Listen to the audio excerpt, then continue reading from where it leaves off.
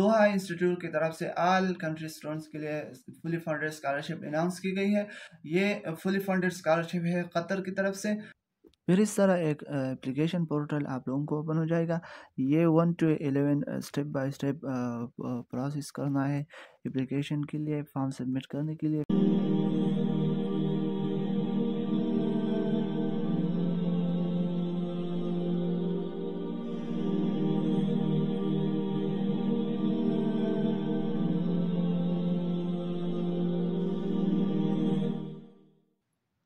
अस्सलाम वालेकुम वरहमतुल्लाहि वबरकातुह मैं हूँ मसीउल्लाह और आप लोग देख रहे हैं मेरा यूट्यूब चैनल उम्मीद है सभी और खैरत वाफियत से होंगे। व्यूअर्स आज मैं आप लोगों के साथ एक न्यू स्कॉलरशिप अपडेट शेयर करने जा रहा हूँ.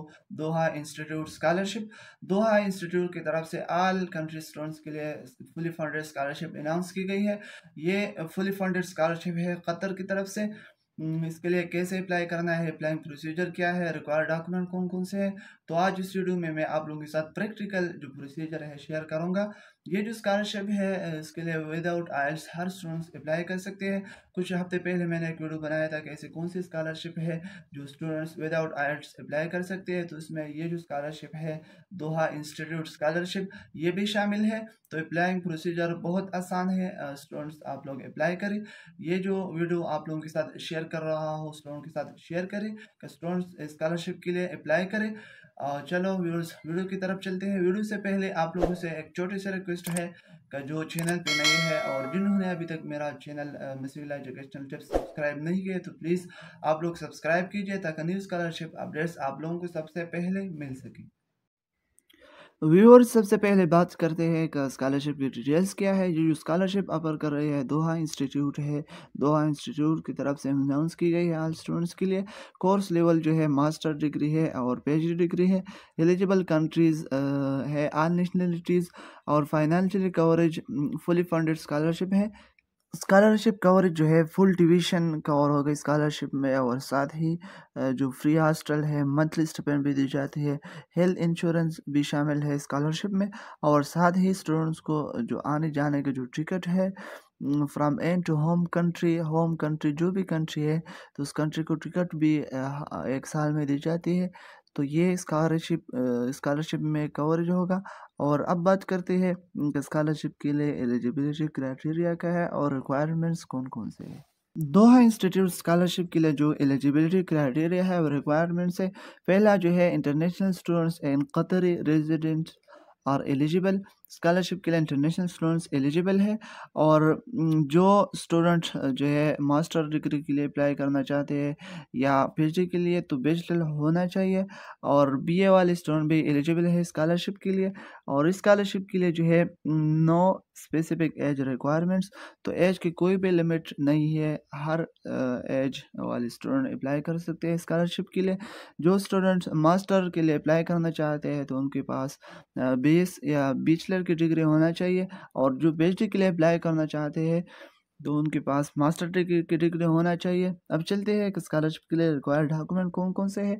तो रिक्वायर्ड डॉक्यूमेंट्स में जो पहला जो डॉक्यूमेंट्स है पासपोर्ट होना चाहिए कापी ऑफ़ ऑफिशियल आइडेंटिफिकेशन तो इंटरनेशनल स्टूडेंट्स के लिए पासपोर्ट होना चाहिए। आईडी कार्ड नहीं चाहिए आईडी कार्ड सिर्फ़ कतर स्टूडेंट्स के लिए है और सेकंड जो थर्ड जो रिक्वायर्ड डॉक्यूमेंट्स है बैचलर की डिग्रीज होना चाहिए ट्रांसक्रिप्ट टू रिकमेंडेशन लेटर्स तो रिकमेंडेशन लेटर जो है ये यूनिवर्सिटी के प्रोफेसर से लेना चाहिए। रिकमेंडेशन लेटर्स के साथ submit English test score English certificate भी लेना है यूनिवर्सिटी से। और ये टॉफिल वगैरह नहीं है, ये सिर्फ़ सिंपल इंग्लिश सर्टिफिकेट है जो यूनिवर्सिटी से आप लोगों को मिलेगा। और फिर जो है पर्सनल स्टेटमेंट लिखना है एकेडमिक ऐसे और सीवी तो ये हो गया रिक्वायर्ड डॉक्यूमेंट्स मैंने इसलिए जल्दी से बताया, आप लोग ऑफिशियल जो वेबसाइट है, उसमें भी आप लोग देख सकते हो। अब चलते हैं कि स्कॉलरशिप के लिए अप्लाई कैसे करना है? मैंने एप्लीकेशन के जो पोर्टल है, मैंने ओपन किया। ये जो पोर्टल है, इसका लिंक मैं आप लोगों को डिस्क्रिप्शन में मेंशन करूँगा। लिंक आप लोगों को डिस्क्रिप्शन से मिलेगा आप लोगों तो पहला क्या करना है? ये जो लिखा हुआ है न्यू एप्लीकेंट रजिस्टर तो रजिस्टर पे क्लिक करें। क्लिक करने के बाद एप्लीकेंट रजिस्ट्रेशन फॉर्म ओपन हो जाएगा। पहला जो है अरेबिक नेम लिखना है फैमिली नेम अरेबिक में लिखना है email address confirm email address तो ये डेटा इंटर करने के बाद आप लोग सबमिट पे क्लिक करें। सबमिट पे क्लिक करने के बाद आप लोगों को ईमेल आ जाएँगे। ईमेल में पासवर्ड और जो लॉगिन आईडी है, वहाँ से आप लोगों को मिलेगा। दोबारा से एप्लीकेशन पोर्टल ओपन करना है और यूज़र नेम की जगह जो है ईमेल डालना है और पासवर्ड फिर साइन इन पे क्लिक करें। साइन इन क्लिक करने के बाद इस तरह एक पोर्टल आप लोगों को ओपन हो जाएगा एप्लीकेशन फॉर्म तो ये जो लिखा हुआ है नीचे क्रिएट एप्लीकेशन इस पर क्लिक करना है। क्लिक करने के बाद एडमिशन इंस्ट्रक्शन वगैरह है। तो ये जो नीचे है स्टार्ट योर एप्लीकेशन इस पर क्लिक करना है। क्लिक करने के बाद पहला जो है स्कूल सेलेक्ट करना है, लेवल ऑफ़ स्टडी सेलेक्ट करना है, फिर प्रोग्राम। तो आप लोग सेलेक्ट कीजिए। तो जो प्रोग्राम में आप स्टडी करना चाहते हैं मतलब साइंसिस है या ह्यूमनिटीज़ वगैरह तो मैं इसमें क्लिक करता हूँ। लेवल ऑफ़ स्टडी आप लोग सेलेक्ट करें, मास्टर के लिए अप्लाई करना चाहते हैं या पीएचडी के लिए तो वो भी सेलेक्ट करें। और जो प्रोग्राम है, यानी ये बहुत सारे प्रोग्राम्स हैं। मैं एक प्रोग्राम सेलेक्ट करूँ फॉर एग्ज़ाम्पल कंपेरेटिव लिटरेचर फिर सबमिट पे क्लिक करें।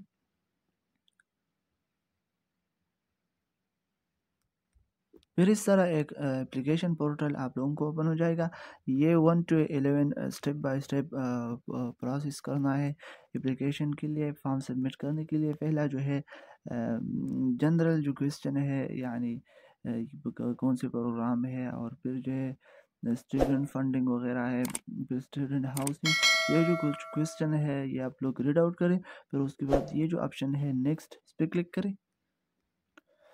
फिर सेकंड ऑप्शन आप लोगों को शो हो जाएगा पर्सनल इन्फॉर्मेशन तो पर्सनल इन्फॉर्मेशन देना है बायोग्राफिकल इन्फॉर्मेशन जेंडर सेलेक्ट करना है डेट ऑफ़ बर्थ वगैरह, और सिटीजनशिप या पासपोर्ट डिटेल्स लिखना है पासपोर्ट नेम कंट्री वगैरह, और आईडी नेशनल जो आईडी नंबर है वो भी लेके और यहाँ पे अपलोड करें। आईडी कार्ड, पासपोर्ट नंबर यहाँ लेके और यहाँ पासपोर्ट एड जो है एड पे क्लिक करें और पासपोर्ट यहाँ से अपलोड करें। फिर उसके बाद नेक्स्ट जो ऑप्शन है, नेक्स्ट पे क्लिक करें। थर्ड नंबर पे आप लोगों को नेक्स्ट ऑप्शन शो हो जाएगा कंटेक्ट इन्फॉर्मेशन तो पहला जो है एड्रेस वगैरह सिटी और कंट्री ये पोस्ट वगैरह लिखना है और एड्रेस इन कतर तो अगर कतर में हो तो कतर का एड्रेस लिखे, अगर नहीं हो तो नो नो पे क्लिक करें और ये जो लिखा है नेक्स्ट तो नेक्स्ट पे क्लिक करें। फोर्थ नंबर पे जो ऑप्शन शो हो जाएगा, वो है एम्प्लॉयमेंट हिस्ट्री तो यहाँ एम्प्लॉय की जो डिटेल्स है, वो यहाँ ऐड करें और हिस्ट्री और यह जो है अपना जो सीवी है, वो यहाँ पीडीएफ या डॉक्यूमेंट्स में आप अपलोड करें। फाइव नंबर पे ऑप्शन जो है अंडर ग्रेजुएट क्वालिफ़िकेशन तो अंडर ग्रेजुएट क्वालिफ़िकेशन में जो है यूनिवर्सिटी की नेम लिखना है सिटी और कंट्री वगैरह डिग्री टाइप यहाँ लिखना है और रिज़ल्ट डिटेल लिखना है फाइनल जो जीपीए है या जो एवरेज जीपीए है, यहाँ आप लिखे और ग्रेड डिटेल लिखे क्वालिफ़िकेशन डिटेल्स में जो है अपलोड अंडर ग्रेजुएट ट्रांसक्रिप्ट तो यहाँ से आप लोग ये जो है एड एड पे क्लिक करें। क्लिक करने के बाद यहाँ जो है चूज़ फ़ाइल फिर अपलोड करें।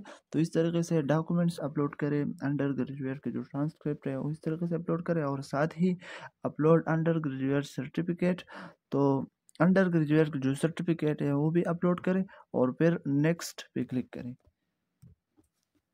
नेक्स्ट ऑप्शन आप लोगों को शो हो जाएगा। लैंग्वेज रिक्वायरमेंट्स तो यहाँ पे है लैंग्वेज रिक्वायरमेंट्स में फ़र्स्ट वन जो है submit minimum academic IELTS score या टॉफिल तो आइल्स या टॉफिल है तो बेहतर है, अगर नहीं है तो फिर इंग्लिश लैंग्वेज प्रूफ के लिए आप लोगों को सबमिट करना है एक इंग्लिश सर्टिफिकेट जो आप लोगों को मिलेगा। जो डिपार्टमेंट है आप लोगों को तो वहाँ से आप लोगों को मिलेगा इंग्लिश सर्टिफिकेट तो वहाँ आप लोग अपलोड कर सकते हो आइल्स या टॉफिल के बजाय।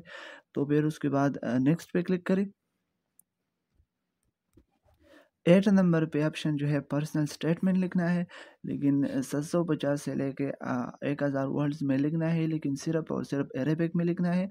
तो अगर किसी को अरेबिक आते हैं तो ठीक है, अगर नहीं आते हैं तो आप लोग ट्रांसलेशन ट्रांसलेट करके अरेबिक में ट्रांसलेट करें और फिर जो है यहाँ नीचे अपलोड करें और नेक्स्ट पे क्लिक करें।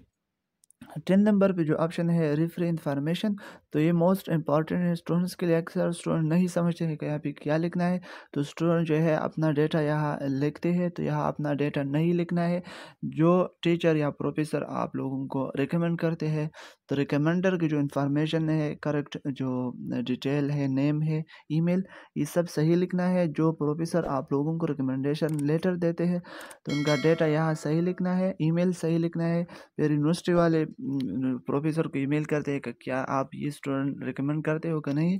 तो फिर जो है ना प्रोफेसर जवाब देते हैं यूनिवर्सिटी वालों को। तो यहाँ आप लोग ये मिस्टेक नहीं करना कि अपना ईमेल या कोई और डेटा लिखना है। तो जो टीचर आप लोगों को रिकमेंड करते हैं तो इन टीचर का रिकमेंडेशन की जो डिटेल्स है, यहाँ लिखना है। फिर जो है नेक्स्ट पे क्लिक करें और लास्ट में आप लोगों को लास्ट वाला ऑप्शन शो हो जाएगा। लास्ट में आप लोगों को टर्म एंड कंडीशंस आप लोगों को शो हो जाएगा कई ये कंडीशन है स्कॉलरशिप की। और फिर यह जो है, ये जो ऑप्शन है, पे क्लिक करें और सबमिट एप्लीकेशन अपना सबमिट करें। आप लोगों को अपना जो एप्लीकेशन नंबर है, वो मिल जाएगा। अप्लाई के बाद और उम्मीद है कि ये वीडियो आप लोगों को पसंद आई होंगी। जिन्होंने सब्सक्राइब नहीं है तो प्लीज़